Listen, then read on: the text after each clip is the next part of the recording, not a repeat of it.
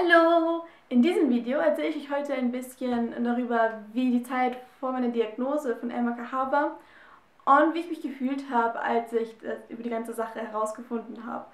Äh, dann fange ich einfach gleich mal mit der kleinen Story an. Das alles begann bei mir, äh, als sich so langsam die Frage stellt, wo meine Tage bleiben. Ne? Alle um mich herum hatten sie schon.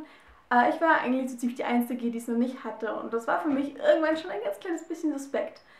Ähm, dann bin ich mit meiner Mama zusammen zum Frauenarzt gegangen, zu meinem allerersten Frauenarzt. Dieser hat mich einfach nur einmal unter Ultraschall genommen und hat gemeint, ach ja, ach ja, das, die äh, Gebärmutter sieht man gut, die hat eine gute Größe, ja, alles ganz schön, alles wunderbar, bla bla, braucht man sich keine Sorgen zu machen und so ein Schmarrn. ähm, aber dann hat sie mir doch, glaube ich, nach dem zweiten Termin ungefähr, ja, ungefähr zweiter Termin, ähm, die Pille verschrieben, weil die sozusagen die Blutung äh, künstlich anregen soll. Diese sollte ich dann für ungefähr drei Monate nehmen. Und damit habe ich begonnen, als bei mir die 11. Klasse begann in der Oberstufe.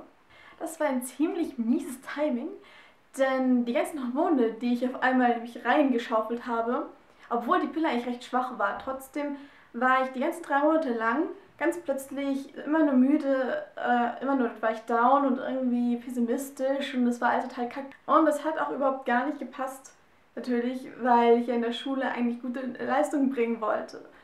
Ähm, es ging sogar schon so weit, dass äh, ich zum Internisten gegangen bin, um einfach mal meine Schilddrüse unter die Lupe nehmen zu lassen und allgemein zu gucken, vielleicht ist es wirklich was Körperliches, warum ich auf einmal mich nicht mehr gut fühle. Der Internist selber hat jetzt nichts gefunden genau.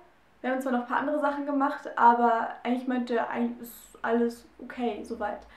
Dann ganz plötzlich, wer hätte das gedacht, nachdem ich die drei Monate dann ähm, abgearbeitet habe, waren meine ganzen Beschwerden auf einmal weg. Ich war wieder normal fit, mir ging es wieder eigentlich ganz gut.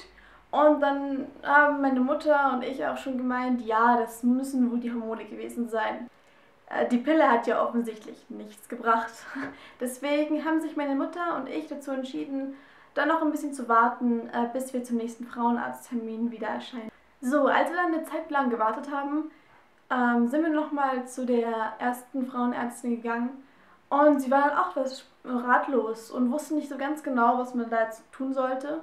Sie hat uns aber auch geraten, uns einfach noch ein bisschen mehr Zeit zu lassen und ja, uns nicht so stressen zu lassen. By the way, äh, ich spreche immer von uns, weil meine Mutter und ich immer sozusagen in Zweierpack immer alles so durchgezogen haben.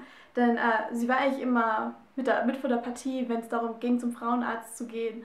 Und sie hat natürlich auch viele Entscheidungen getroffen und solche, sowas. Deswegen nicht verwirren, wenn ich immer uns sage, denn meine Mami, die war immer dabei und hat mir ganz viel geholfen.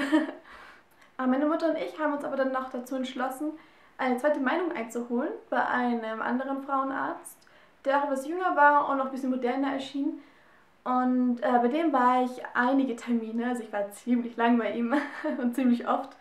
Und er hat jedes Mal einen Ultraschall gemacht und hat kein einziges Mal meine Gebärmutter gesehen. Das hat ihn dann dazu gebracht, äh, mir andere Tabletten zu verschreiben, sogenannte Gelbkörperchen, die dann einfach die Eierstöcke anregen sollen, damit sie etwas größer werden und dann im Ultraschall besser zu erkennen sind. Äh, und da hat sich schon ein bisschen was angebahnt, denn eigentlich bei fast jedem Termin hat er mir so gesagt, äh, so ganz subtil, dass man mal überprüfen müsste, ob die Gebärmutter da wäre. Und deswegen hat er die ganzen Ultraschalle eben gemacht. Also er hatte schon so eine Ahnung. Ähm, soviel ich weiß, bin ich die allererste Patientin bei ihm gewesen, äh, die mit MKH zu ihm kam. Ähm, aber er hat wirklich sich sehr viel Mühe gegeben und auch ein bisschen rumrecherchiert, um genau herauszufinden, was denn bei mir schief läuft. Also wie gesagt, er hat bei mir bestimmt zehnmal einen Ultraschall gemacht, kein einziges Mal die Gebärmutter gesehen, zweimal glaube ich, ja, zweimal die äh, Eierstöcke. Und dann war es ihm irgendwann genug und hat gemeint, okay, ich schicke dich jetzt zum MRT. Das haben wir dann auch gleich gemacht. Das war übrigens im Dezember 2013. Mm, und da war es eigentlich so ziemlich klar, dass ich keine Gebärmutter habe. Das hat man wirklich gut auf den Bildern sehen können. Der Arzt, der das uns da gesagt hat, der nichts wirklich mit der anderen Praxis, mit der Frauenarztpraxis zu tun hatte, war ein bisschen ein Popoloch weil er jetzt einfach so gesagt hat, so, ja, nix da. Tja, ja, tschüss. können Sie jetzt wieder gehen. das war jetzt, ja, nicht so angenehm. Aber zu dem Zeitpunkt war es, was eh wurscht. Also ich war natürlich leicht geschockt. Uh, meine Mutter genauso. Mm, aber ja, da war es halt draußen. Dezember 2013 war so die Zeit, wo ich es herausgefunden habe. Ach ja, äh, zwischendurch waren wir auch nochmal bei der ersten Frauenärztin und die wollte sich das auch nochmal ganz genau angucken. Ähm, und sie hat mich auf den Frauenstuhl gesetzt und einen kleinen Ultraschallkopf genommen für unten rum, ne, damit man das halt einführen kann. Und sie hat es versucht und da ging es natürlich nicht wirklich weit rein. Äh, und sie hat irgendwie immer noch nicht gecheckt, sogar als ich wirklich mit ihr breitbeinig vor ihr saß, dass da einfach irgendwas falsch ist. Sie hat es einfach nicht gecheckt und hat mich, im Nachhinein regt mich das so auf, wie inkompetent man sein muss, um sowas nicht zu verstehen. Ähm, bei der anderen Frauenärztin, die natürlich darauf spezialisiert war, auf das ganze MKH-Kram, ähm, bei der es dann um die OP und so weiter ging, die hat sich das nur ganz kurz einmal angeguckt, ähm, nicht mehr wirklich viel daran rumgemacht, sondern einfach, sie hat sich angeschaut und gemeint, ja, okay, das ist wirklich, ist zugewachsen, da ist nichts. Und die eine hat es einfach nicht gecheckt. Und äh, das ist auch ein Grund, warum ich unbedingt möchte, dass äh, das Thema einfach nicht mehr verbreitet wird. Vor allem bei den Frauenärzten. Es kann nicht wahr sein, dass die sowas nicht kennen, obwohl es so häufig vorkommt. Und Mädchen, wie, auch, wie es auch bei mir eben war, dann sich so lange damit rumquälen müssten, bis sie dann endlich Bescheid wissen, worum es denn eigentlich geht. Äh, deswegen möchte ich auch bei meinem nächsten Frauenarzttermin äh, meinen Arzt mal fragen, ob es irgendwie möglich wäre, äh, dass er bei der nächsten Fortbildung wenigstens das Thema mal erwähnen könnte, damit dann schon mal der Name bekannt ist.